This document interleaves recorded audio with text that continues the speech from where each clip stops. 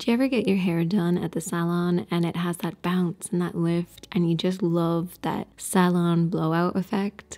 Well, I'm going to show you how to do it in a really easy way today. And all you're going to need is air dried hair, some bobbles or scrunchies, and your hair straightener or your flat iron, whatever you like to call it. I'm not going to make popcorn, don't worry. Have you seen those people making popcorn on TikTok? So let's get started with this look.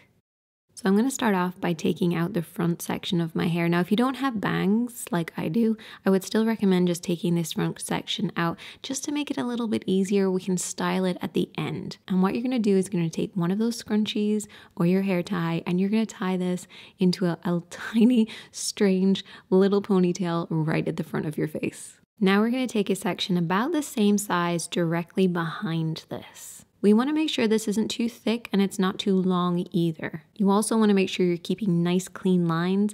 This just makes the process so much easier. Make sure we're not going to miss any areas and it also creates much more of a smoother effect. So once you have this section, I then want you to take your hair straightener, your flat iron, and I want you to roll this over this section. And you're bringing this up and over, across, and towards the face. This is going to add a nice lift at the roots, and then it's going to hang over our face. Now, before it falls, I want you to put your hand in and I want you to grab it just before it falls. Now, if it's really hot, you can get little gloves that you can use. Mine isn't set really high, so I can still catch it in my hands. Now, once you've caught this, you want to take your second scrunchie. I couldn't find scrunchie, so I had to use a hair tie. And I want you to do exactly the same thing, creating a tiny little ponytail right at the face. I know this looks so strange, but we're just going to keep going with it. We're going to repeat this same process again, working in a section behind that section. Again, make sure it's not too long and make sure it's not too thick either. You're going to take your hair straightener, you're going to roll it at the roots and bring it down across the face. Now I like to do it in a little swooshing motion. This is just going to make sure I get some lift at the roots and then it's going to drift downwards. This kind of mimics using a round brush when you get a blowout done.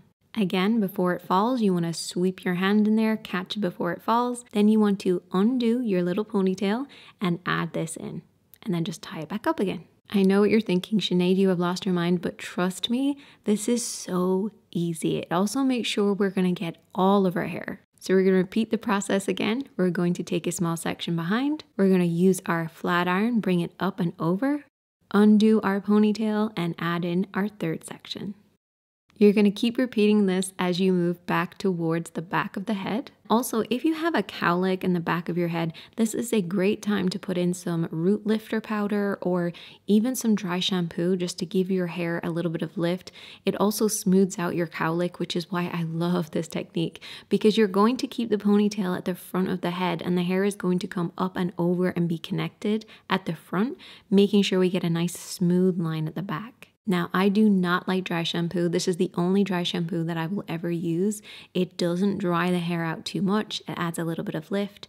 And unlike some of those sprays, it doesn't leave that strange powdery texture. It's the only one I swear by. I will never use dry shampoo if it isn't this one. We're going to keep repeating the same process just till we get to the back of the head, and then we can move on to the sides. And just look at the difference here the hair that's done and the hair that isn't, the shine, the bounce, the lift. I love it so much.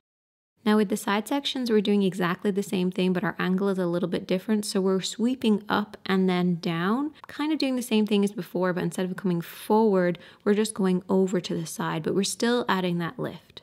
And again, we want to catch it just before it falls, lift it up, and add it to our ponytail. And then you're going to take a section underneath that and just repeat the whole process again. Now, as we get to the bottom layers of the face, I then like to take everything that's in front of the ear and just leave it out for now because I can style it afterwards and still keep working on the back of the head. Now, it's up to you how you want to actually do this. If you want to just bring the hair down to the side, but then lift it up at the end, or what I like to do is I like to take the section, pull it out from the roots, and already have it going in the direction of the ponytail, so going up towards the ponytail. Then I take my hair straightener, place it at the roots, and then just bring it forward, if that makes sense. That way, I'm guaranteed to make sure I'm getting all of the back of my head and bringing it up in a smooth shape. and then simply add it into the ponytail. It can be a little bit tricky as you gather up all of your hair, but that's why it's really important to keep the ponytail at the front of the head. This is going to anchor it in place. Now moving on, I'm going to style the front section of my hair. Now I have kind of curtain bangs, so what I do is I split them in half and I kind of just swoop them backwards towards my ear. Or sometimes I will split them and bring it down and kind of swoop it in front of my face. There's a million ways that you can style curtain bangs. It's totally up to you. If you want to see a video on it though, let me know. I just bobby pin them into place and then I'll add some hairspray, take a bath, do my makeup, whatever might need to be done. After about 10 minutes or so, you can take out your ponytail and you should have that nice lift. All of your hair is smooth and bouncy, and I just love this technique because it is so easy. It really does fake that blowout technique. So you have that lift and you have that bounce, but you've just used a hair tie and your straightener. But I would recommend using a scrunchie because the ponytail can be a little bit rough on the head. I'm not gonna lie. Now, I'm not a hairdresser. I do cut and style and color my own hair. I can't remember the last time I had my hair done by a professional, but I'm definitely not a professional. So I'm sure there's some hairdressers that will say that I'm doing this wrong or this is a really bad technique. But I just really wanted to share this technique and I hope that it helps somebody out and makes them feel good and special, especially because I can't go to a hair salon. It just drains me. I usually end up having to wear like a neck brace afterwards. I'm not even joking. My neck is so sensitive that getting my hair washed in one of those sinks, is just too painful. My neck is too sensitive, especially with my JHS and having POTS. It does make things a little more difficult. So doing my hair at home is the only way that I can feel comfortable. And it might not be perfect, but at least it's kind of somewhat styled. so I really hope that you guys enjoyed this one. I will see you guys in a video really soon. I'm sending you love and hugs. And as always, my friends, be kind to yourself, be kind to others. If you can't notice, I'm actually very nervous about posting a hair tutorial and I don't know why, but I just really hope that you like it. Okay, bye.